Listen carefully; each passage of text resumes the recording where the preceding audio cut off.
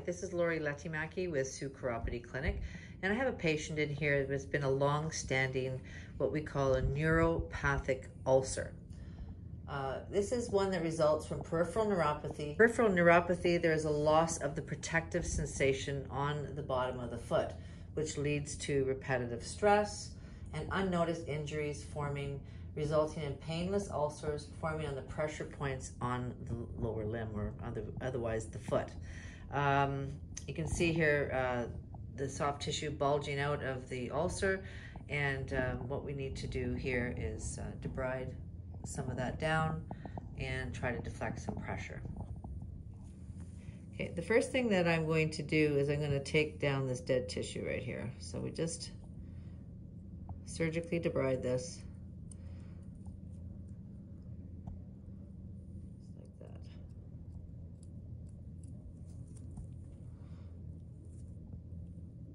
Can't, the skin can't heal unless there's good skin there. If it's calloused or white macerated skin, it's dead skin. It's not gonna it's not gonna heal. It's gotta go. Gotta get down to the pink. Remember, I'm taking this down. He can't feel a thing.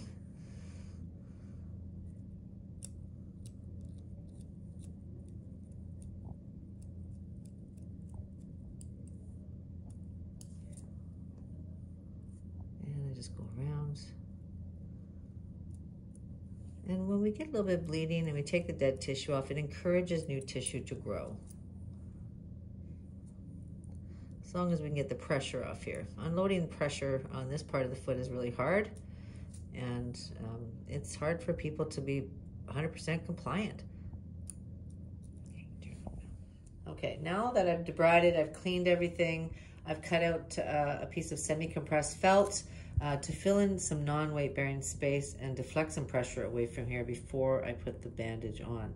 So I'm just gonna bump it up to the wound there and I'm gonna apply this directly to the patient's foot. Okay, now we're gonna cover the wound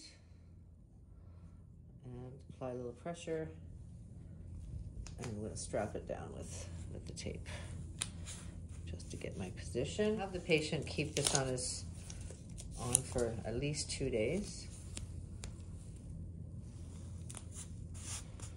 I also give him the pattern with some felt so he can cut some out himself when the dressing changes are done to help deflect some pressure. And I'll see him back in a week to see if we're making any progress. Okay, one more thing that we do, um, he walks around with this wound shoe and it's cut out in the front so all the pressure sits to the back of the foot and it helps to also deflect pressure away from the wound.